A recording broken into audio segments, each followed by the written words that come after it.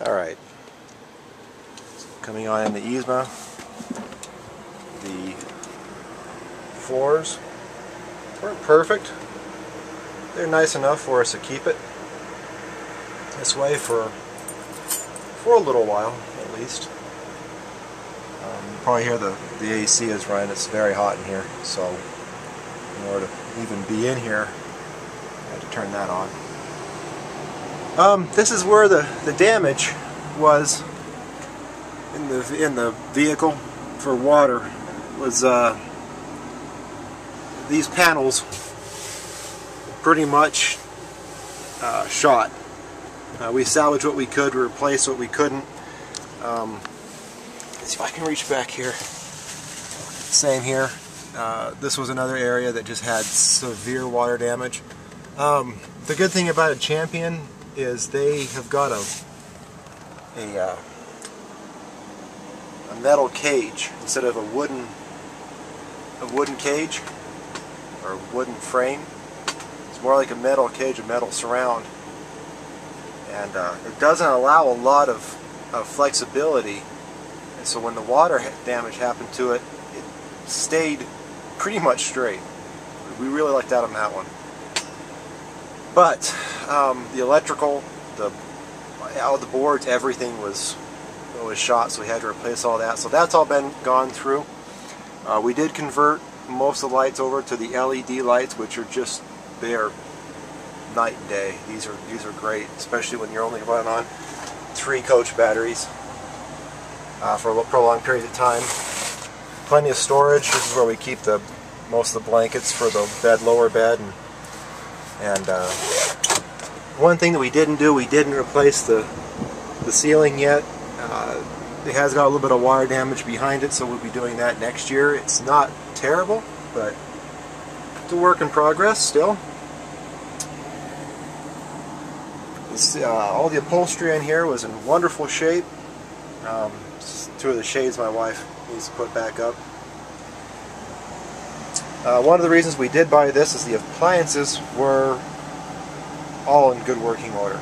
Um, we couldn't find a problem with anything in here. The uh, the water heater was brand new. He put the gentleman put in a year before he died. He died in the process of, of doing a lot to this, and he did a lot of the mechanical to it, and then died.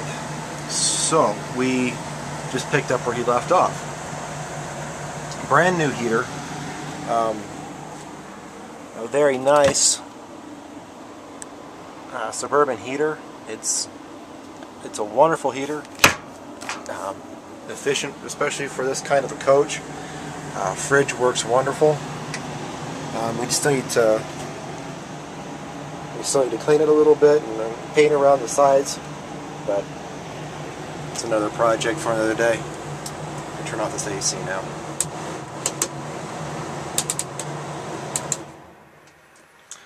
Um, we rebuilt this wall back here to continue on with the theme and then we just put plexiglass back as a backsplash. Uh, looks pretty nice and it'll work for now. Brand new microwave. Um, what he didn't do he didn't winterize the RV before he died.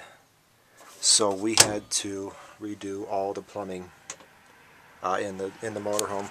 That included the bathroom. Um, so we just gutted the bathroom and just redid it uh, from from the get-go, uh, and it's night and day. Um, it was the old wood paneling in here. Now we put on this surround, so the entire thing is um, is uh, waterproof. More LED lighting. Um, the only thing is, is that in the uh, in the shower area, it did bubble in a few places. And that's because the backer board we used was the wrong stuff. Lesson learned. But it will work for this season. We'll probably replace it next season.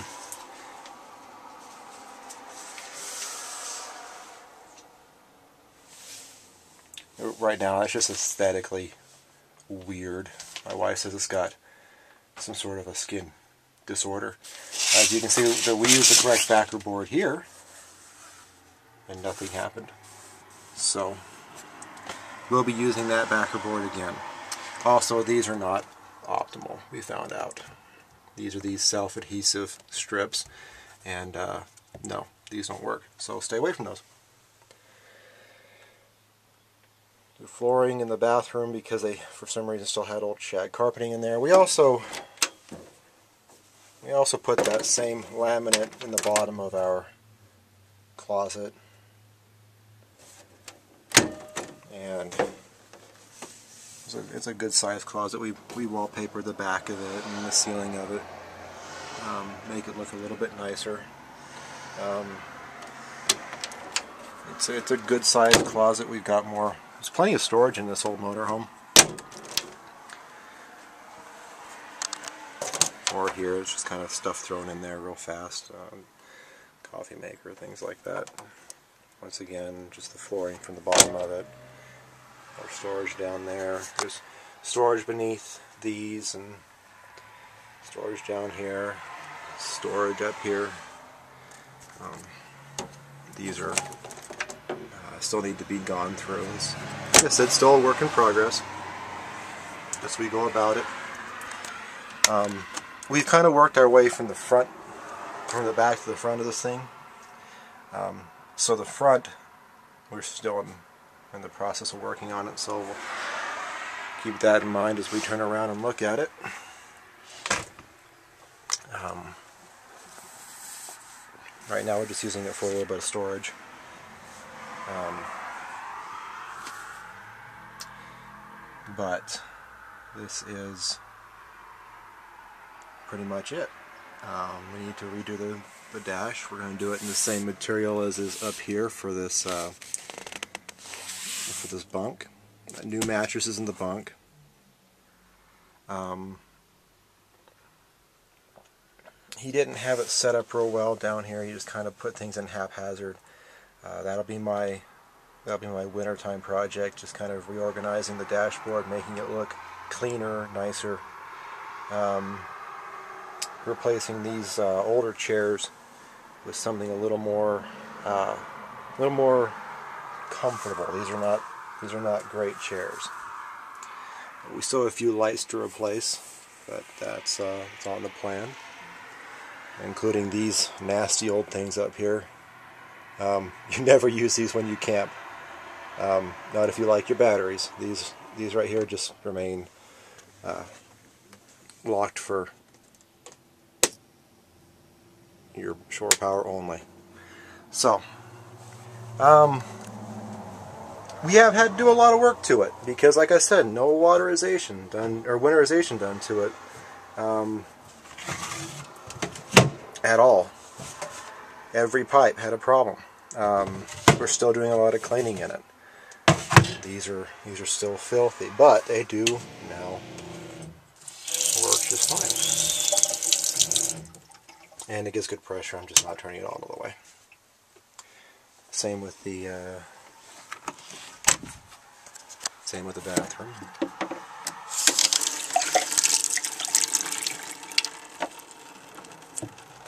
So there's that. Um,